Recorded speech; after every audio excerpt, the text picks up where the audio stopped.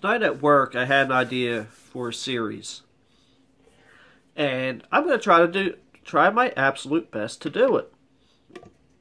Primarily because, to be honest, this is an inconvenience to me. Inconvenience means sacrifice. What I have here, printed out an email from my pastor. He gave these to me a couple weeks ago and you know what? I have not been as faithful as I should have been. Start going through them. This is six pages, 48 scriptures on healing. Actually, no, I'm not going to have his or my email on there, but it's called Healing Scriptures. There are 48 of them. I don't know if I'm going to stretch this out over 48 days or if I'm going to do a couple a day. I'm going to see how these videos go, okay? Now, ideally, the way he does this, he goes through these every day. Uh, I believe I need to get an updated list from him. I think he's up to 50 now. so, or I might just go digging on my own. One second, please. I don't think the devil wants me to do this. You know why?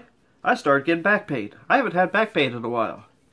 So I had to uh, stretch my back real quick. Let's start with healing scripture number one and the thought that goes with it. The Word of God will save your life. Now, I could get fancy, and I may, and I'll put the these, I'll write these scriptures on the uh, screen. I probably won't do the whole scripture, but I will do at least uh, this yeah what book what book uh, chapter and verse it is. Proverbs 4 20 through 24 says, My son, give attention to my words, incline your ear to my sayings. Excuse me. Do not let them depart from your sight.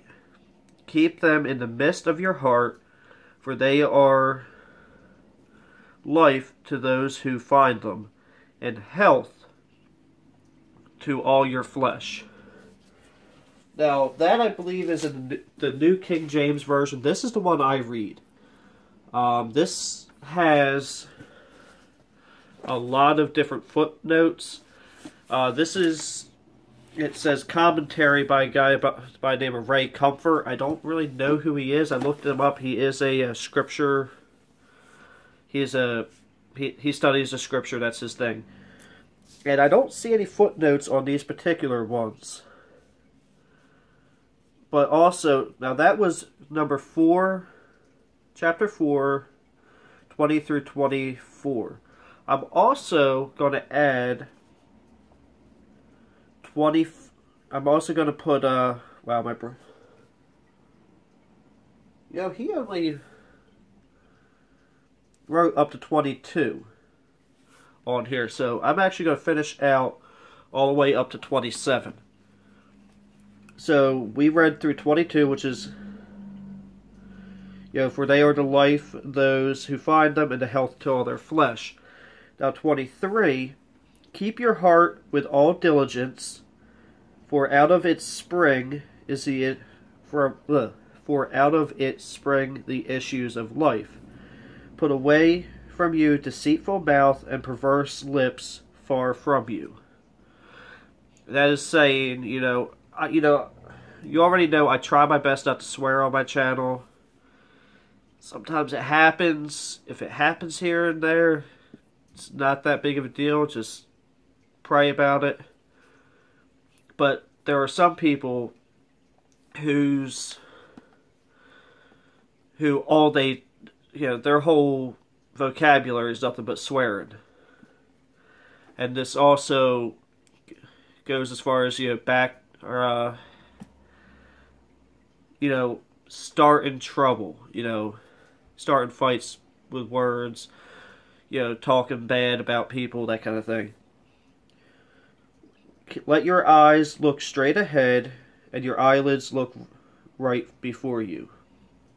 Ponder the path of your feet and let your ways be established. Do not turn to the right or the left. remove your foot from evil. Now, there is commentary on 25, which is uh, the one that says, Let your eyes look straight ahead, let your eyelids look right before you. On here it says, Live for souls. Now, concerning the salvation of our fellow man, we shall never compass, uh, compass it unless our eyes look right, right on, and our eyelids straight before us. Before we win souls, we must live for souls. We need men and women, uh, men and women who live to convert others to Christ. The minister had better quit his pulpit if it be not his one burning desire to bring soul, to bring hearts to Jesus' feet.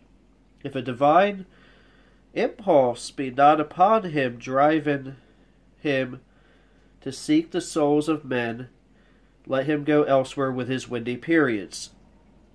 Professors have little right uh, little right to be in Christ Church unless they are passionately in earnest to increase his kingdom by the salvation of their fellow men. Oh, my brothers and sisters, on whom. Oh, by the way, this is by Charles Spurgeon. I didn't realize that. I just I was reading ahead a little bit. Oh, my brothers and sisters, on whom is the blood mark of redemption, I charge you concerning this matter to let your eyes look right on and your eyelids look right before you. Seek souls as dogs hunt their game, eye, nostril, and ear all open, every, and every muscle strained. Converts are not gained by dreamers. We cannot imitate Jesus as a Savior of men by being dull and heartless in any point in which we follow our Lord, let us do it with our soul. Charles Spurgeon. And these are these are um, scriptures that I personally want to try to follow every day. I want to. I'm actually going to go ahead and do one more I'm not trying to rush through these. That's not my goal. My goal is to give you guys scriptures that you can live every day to help you in your healing. Number two, God's word will not fail. This is Joshua 21 45. Not a word failed of any good thing in the Lord had spoken it all came to pass. Now let's see if there is commentary on Joshua 21:45. It would probably help if I actually knew where to find Joshua in here. I gotta be honest with you, I have not been reading the Word every day the way I should. And this little series that I'm doing is actually me trying to get myself into the Word every day. And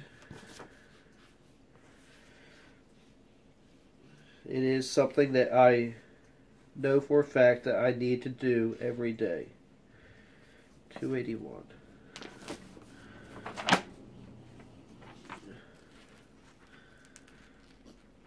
So we need we are looking for Joshua 21 and looking for 45. There is Okay, here we actually have something. And the little subtext above it, I don't know if you can read that, says the promise fulfilled. I'm going to go back and I'm going to read 43 through 45 because that is where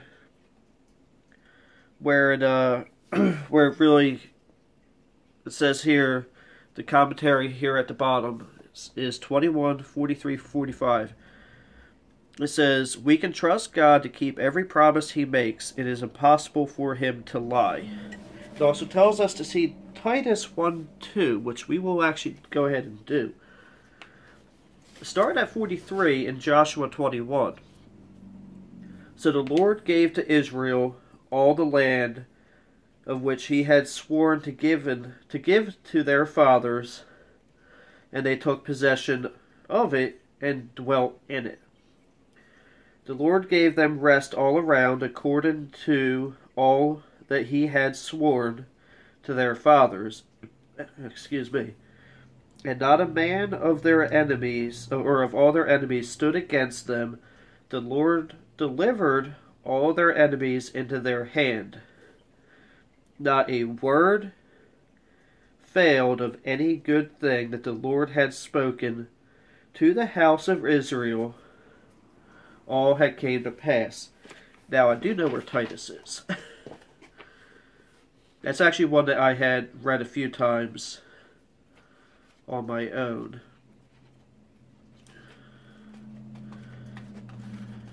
Okay. it's actually there's only like two pages of it and I just went past it.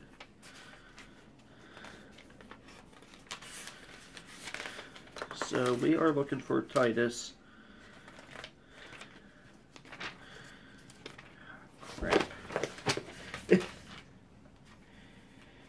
1745.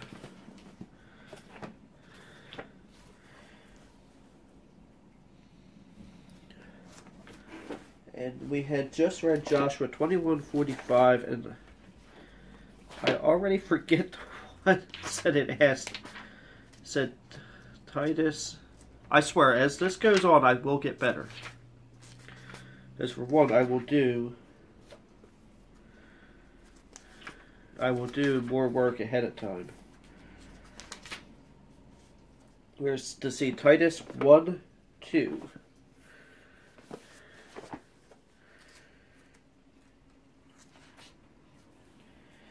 And it says,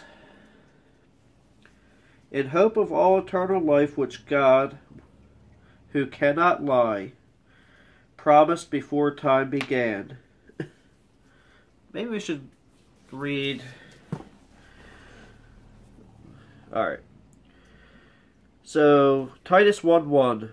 Paul, a bondservant of God, an apostle of Jesus Christ, according to the faith of God's elect and the acknowledgement of the truth which accords with godliness, in hope of eternal life which God, who cannot lie, promised before time began, but has in due time manifested his word through preaching, which was committed to me according to the commandment of God our Savior. See, the thing is, and this is one thing that my pastor has been preaching on a lot lately. It is through faith that we are healed. I want to see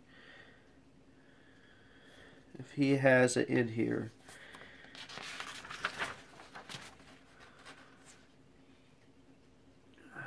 Well, I know he has it in here. Oh man, we're going to get into some good stuff soon.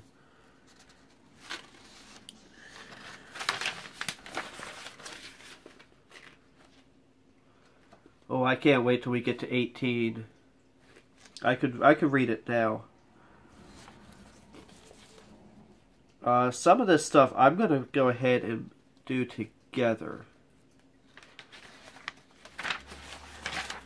But one of the things that he's been preaching on is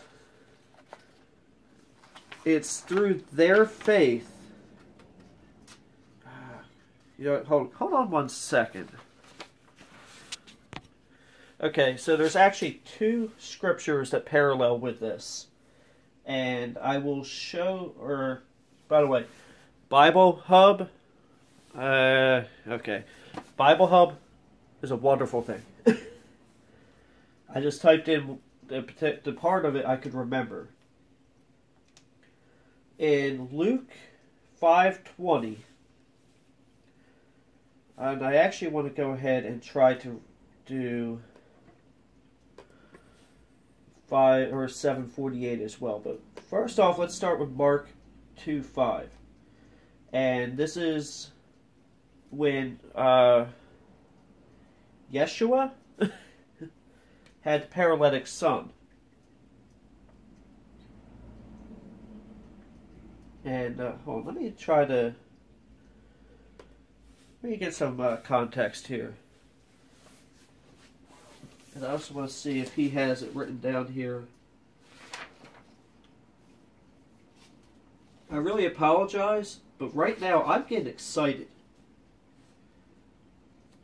Um, I, I honestly can't wait to go through these with you.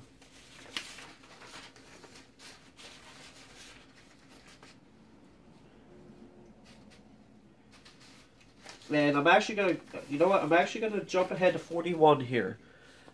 Actually, in a little bit, I will jump ahead to that. Remind me, I need to jump ahead to 41. Alright.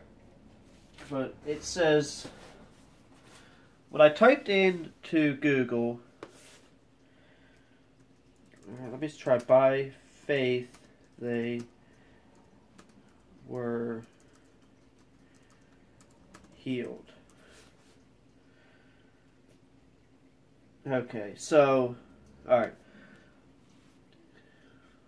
Shoot. Shoot, shoot, shoot. Mark 2 5. So,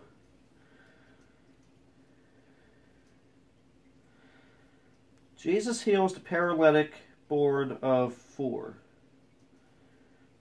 And in Mark 2 5 says, When Jesus saw their faith, he said unto the paralytic, Son, your sins are your sins be forgiven you.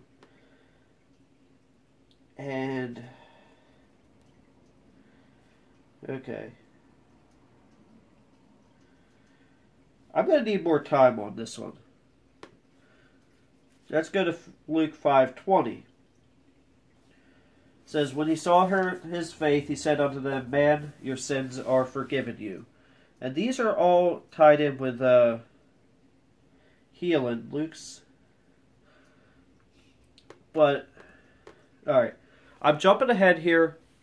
Please forgive me for this. And let me.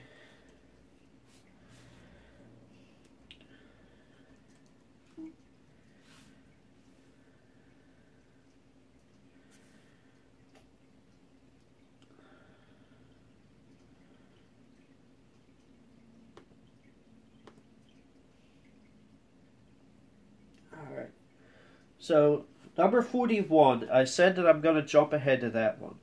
And I will cover it again. But I'm going to do that by telling you what I have. Number 41 says, Give testimony of your healing. And that is Revelations 12 11. And they overcame him by the blood of the Lamb and by the word of their testimony. Now, I have a song stuck in my head, and rather than getting a copyright strike, I'm going to put a link in the description to this song. Because I know it's on YouTube. So there's no point in me doing it again if it's already on YouTube. Alright, so... Yeah, these are definitely ones that you're supposed to read every day. This could take hours a day to do, which is why I'm doing this in small small blips on here. So here's some healing that has happened in my life. Back in 2005, I started giving my life back to God. I had I had uh, backslidden. Well, actually, up at the point of 2005, I had been a Christian my entire life. And let me find the calculator because I don't remember how old I was. in 2005.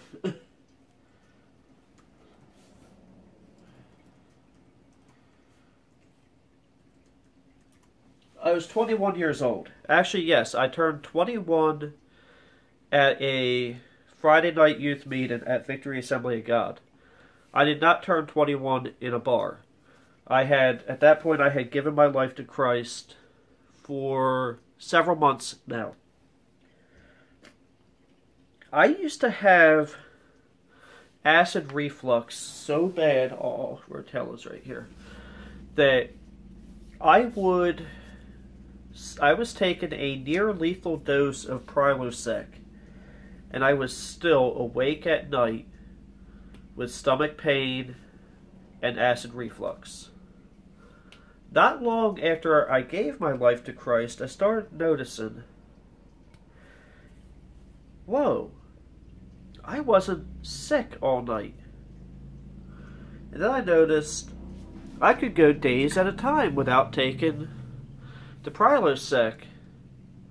And wait a minute, I don't need the Prilosec.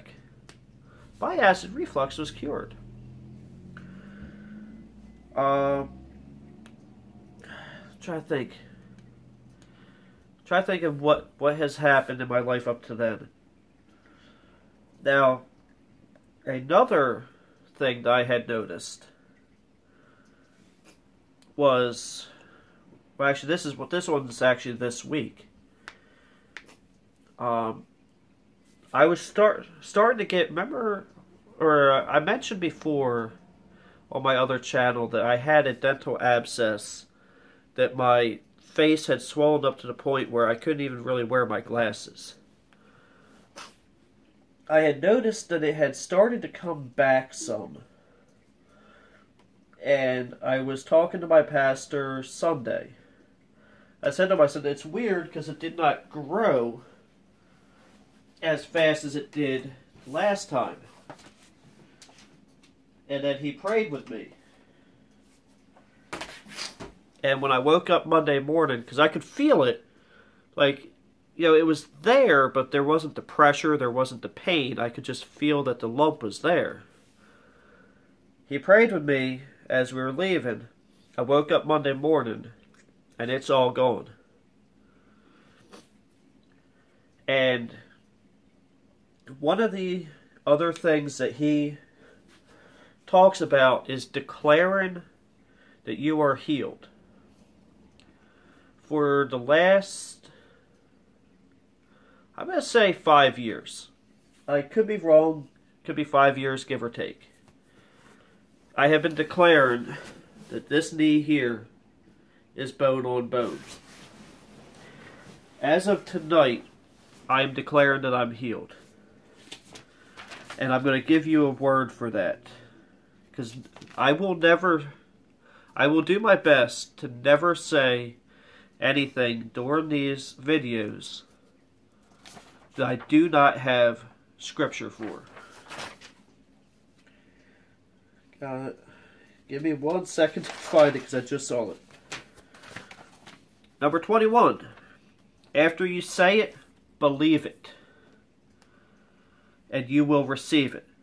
But first, I have to go back to 20, which says, What you say will, and he has that in capital letters, make a difference. Mark 11, 22 to 23. Have faith in God, for assuredly I say unto you, whoever says to this mountain, Be thou removed, and be thou cast into the sea, and does it, and does not doubt in his heart, but believes that those things he says will be done, he will have whatever he says. And I can tell you right now, Devil's mad I'm talking about this. Give me a second. Because he's trying to uh trying to trip me up. And 21 says, after you say it, believe it, and you will receive it. Mark 11, 24. Now we just quoted 11, 22 to 23. Therefore I say to you, whatever things you ask when you pray, believe them or believe that you receive them and you will have them. And I am just looking at some of this stuff and I am getting excited because I believe that we uh, we have something here that is going to work. I believe that these videos will help somebody. And if nothing else, they are going to help me get back into this word, get the healing that I deserve. Well, actually, I don't. If I get the healing I deserve, I'll be dead. But get the healing that God says that I will have, and I I believe in that. Now, these things that we are talking about, and I probably should put this in the beginning of the video because half of you probably tuned out by now. But these things that we were talking about, we can, uh, they will not only work with healing your body, they will work with healing your relationships, your family. They can help with your finances. Healing does not necessarily mean physical healing but also emotional healing. It's like, you know, are you or have you been claiming your whole life that you have a disability, like a mental disability? If you study God's Word, study what God has for you, realize that 2,000 years ago He took the beating and the stripes for your healing that He meant it, and that you will receive the healing if you do what God tells you to do. And uh, I don't know about you, but right now I am blessed. I don't know how I'm supposed to get to sleep. And I have to go to work an hour early tomorrow. I just got home from work, and uh, it's according to that over there, it's 9:40. Luckily, I don't have to be until 11 p.m. But I still haven't eaten yet. That is what I'm talking about. That this is going to be a be an inconvenience for me, which an inconvenience will be a blessing. Now tomorrow we're going to start at number three, which I could read right now. But we'll talk a little bit more about it in depth. I will do a little more studying on it. And I still have the Facebook Messenger up on this. I'm really sorry about that. But number three says God's will, healing, is working for you. Which is for God which is Philippians two thirteen. For God for it is God's for it is God who works in you both to will and to work for his good pleasure which and basically you could say is it is God's will for you to be healed. I'm going to do a little more studying on this between tonight and tomorrow night. And we are going to have we're, we're going to have church. I, I really hope that I get better with this as I go on. For one, I want to get better in God's Word. Thank you for watching. Have a blessed day.